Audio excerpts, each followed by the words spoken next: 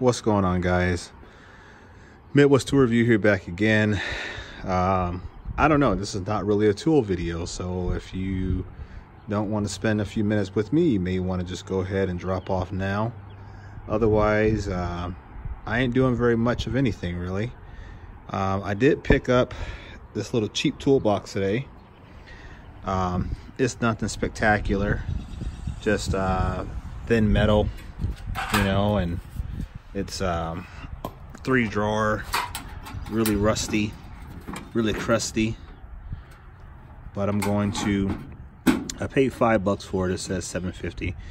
Uh, gave the guy five bucks for it. I'm gonna ding out some of the dents on it because you can tell that it's been rode pretty hard. Um, I think I'm going to paint it black and uh, make it look similar to my um, big box, my roller box over there. Uh, I finally got the truck cleaned up. That's been like forever. Um, got that all cleaned up and looking nice.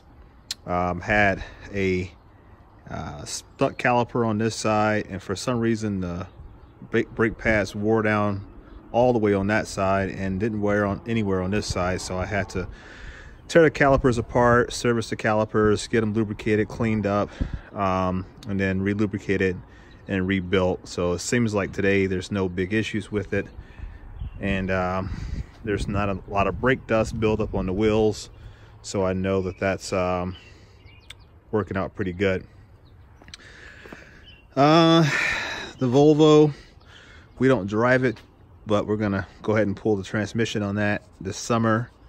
Uh, me and the wife are gonna go ahead and put the new one in.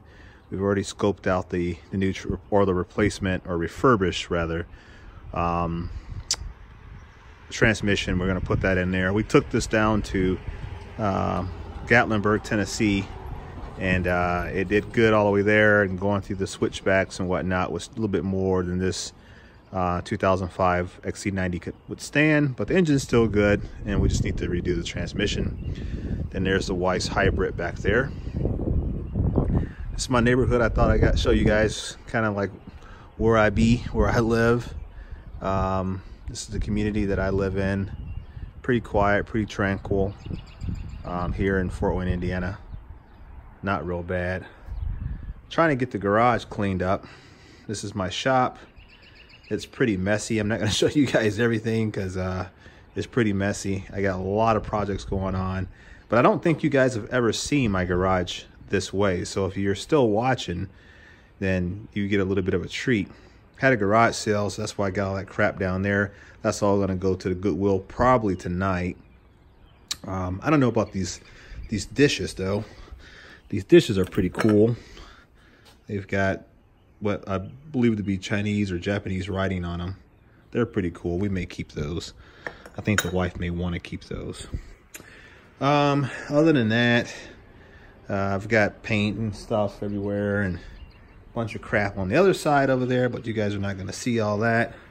Gonna load up the truck and take it to the dump after I get done dropping off the good stuff at the Goodwill. Um, hmm. I got a lot of projects, you know, like I said, stuff that I'm currently filming. I'm rebuilding a or, um, pistol drill. You guys will get to see that here pretty soon. Doing all the editing. First attempts to at editing with the wife's help, working out pretty good. So teardown has been filmed and all of that good stuff. So you guys get to see that video. Um, now that I have editing software that even I can understand, um, we're to go ahead and get these worked up. These are my PEX Pexto 500-6 lineman's pliers. I am excited about these for some reason. I don't know why. Um, I, I, really don't know why. I believe Pexco or Pexto was eventually purchased through Snap-on and one of the acquisitions. I wrote it all down so I can sound like I know what I'm talking about when I do record this video. Um, but you guys will get to see that. And I got a bunch of other pliers and things of that nature in there. Got a new tool bag or uh, everyday carry tool bag. Just, you know, standard. Oh, almost fell over. Now that I have a proper three or 3 8 drive impact, I can put my quarter inch pack Porter cable in here. This thing, I tell you guys, I don't care what you say, for an impact and a quarter inch drive system, this sucker has survived. Even the light still works on there. Um, and this is probably, I broke that, but this is probably about five, four or five years, no, not that long, maybe three years old now. And um, I dropped it and everything else, and it still works really good. And I got the drill as well. But I've got, you know, my regular EDC bag, you know, um, ratchets, just cheap ratchets.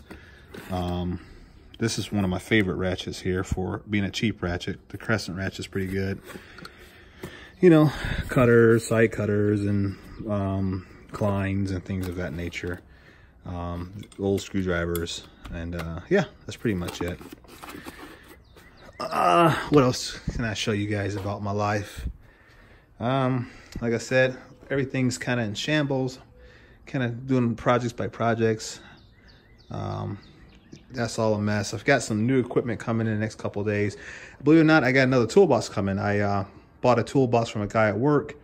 That should be here probably next week. It's just a regular Craftsman, but it is like a six or seven drawer Craftsman, and it should probably fill in that gap there. But it'll be another way, um, or excuse rather, for me to buy more tools or try to at least get some of the stuff that's out of here into that box. So, um, let me go ahead and remove that mail so my address isn't out there. Other than that, um, that's pretty much it. I mean, this is my toolbox as it is. I won't show you guys. That's me and my wife there when we were, that's almost 16 years ago.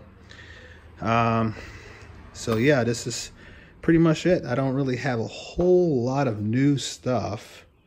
Um, you guys have seen all the ratchets.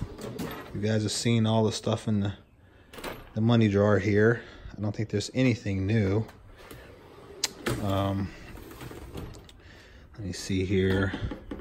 I've got some stuff down there, but I'm not gonna dig through it. I got a, finally got a uh, rethreader, or is it a rethreader? Um, yeah, rethreading kit. I finally got one of those. Um, I picked that up from a pawn shop, and I've never done a video on it, but I did get that. And um, maybe I'll show you guys one day. I think I paid like $15 for it something around there, 15 or 19 bucks for it. But it's, it seems it's OEM brand, so I guess it's pretty decent. But other than that, guys, that's pretty much it. I mean, I'm seven minutes in, just kind of chilling with you guys. You know, kind of showing you the world that I live in, uh, my messy workshop.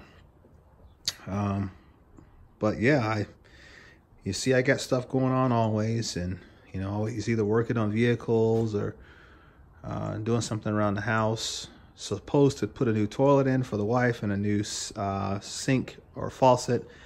That'll go in tomorrow probably because it ain't going in today. I got to make sure she gets to bed on time. So other than that, guys, um, just a simple video. So uh, like it if you like it. Don't like it if you don't. Leave me a comment, you know, and uh, I'll catch you guys on another one. All right, peace.